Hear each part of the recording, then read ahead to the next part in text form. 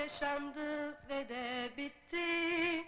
Küçük sevinçleri ve küçük kederleriyle bilirim herkes payına düşeni yaşar.